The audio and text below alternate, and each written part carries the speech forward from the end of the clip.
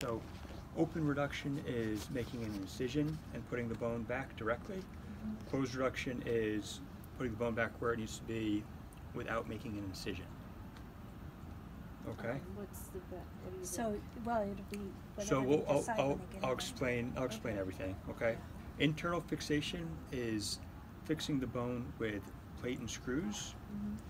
External fixation is what I mentioned briefly before, putting pins in your femur and pins in your leg.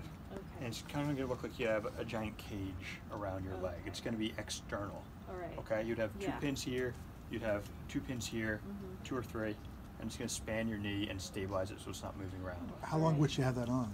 That would be on for probably a couple weeks, Okay. okay? Yeah, But, so here's the thing, let me tell you what I think is the most likely scenario. So Yeah. those, those are all the possibilities, Mhm. okay?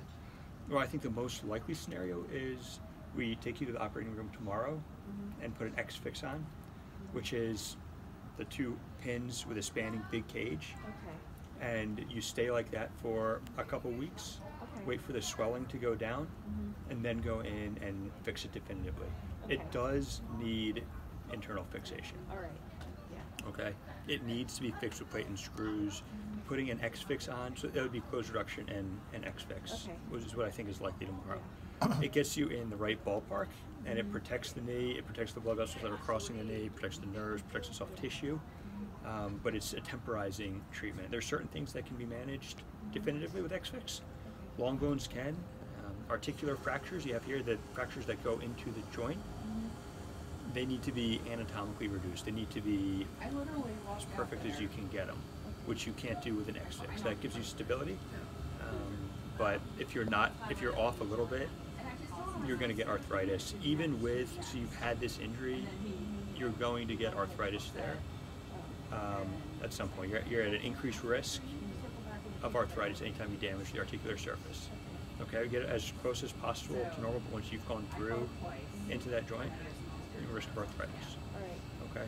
How long do you think she'll be in the hospital? I, I think you could leave tomorrow or the following day okay. with an X. If, if you get X fixed, If okay. it's not X-fixed? Is, it, is there a possibility she could get the internal? Um, There's a possibility. So we're going to keep you up on Depends on pillows. the. Okay. Yes, it, so it'll depend on the swelling. It's possible they decide to definitively fix tomorrow. It's possible that there's no X fix, and you wake up and you'll just have incisions. The question is whether they're going to do one or two incisions. The bone is it's, a bad injury. Okay. The injury that you have is is a bad injury.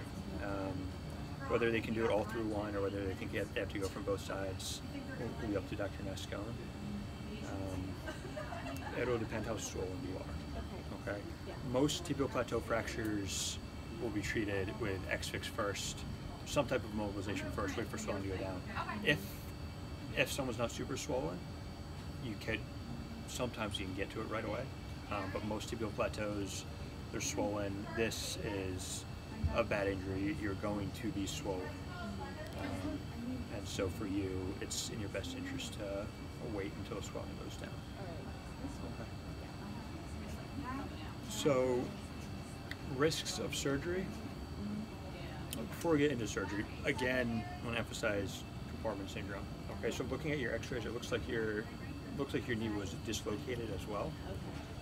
Okay. Okay, on those initial X-rays, um, it looks like you were out. When we put you out to length, you came back in, and you're in an immobilizer, and on the CT, you're in the immobilizer on CT, and you went back in.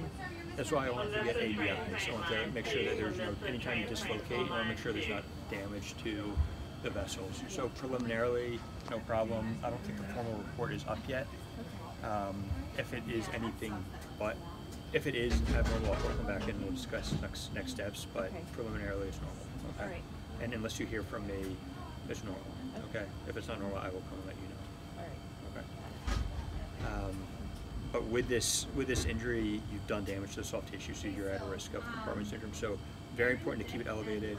If your pain is getting worse, very important to let the nurse know. We don't want them to just keep giving you more pain meds. We want to know if your pain is getting worse. Yeah, it's just the same. Okay, good. Yeah. Um, how is how, how bad is the pain right now? Um, it's fine. It's. Reasonable. You look reasonably comfortable. Yeah, I'm fine. Good. Yeah. Um, any numbness or tingling? Also, let someone know right away. Okay. Um, Because that would indicate nerve damage, right? it's it's a sign that she may be developing compartment syndrome.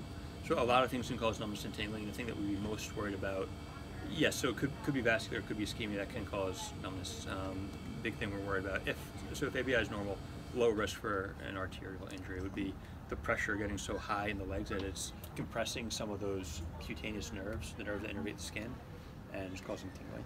That's something we want to know right away. Um, that's something we would take you to the OR for to fix. Okay, but we don't need to go. We're just keeping an eye on you. Okay, I'm gonna tell my colleague who's here overnight just to come down, and check and make sure mm-hmm. that you're not getting more swollen.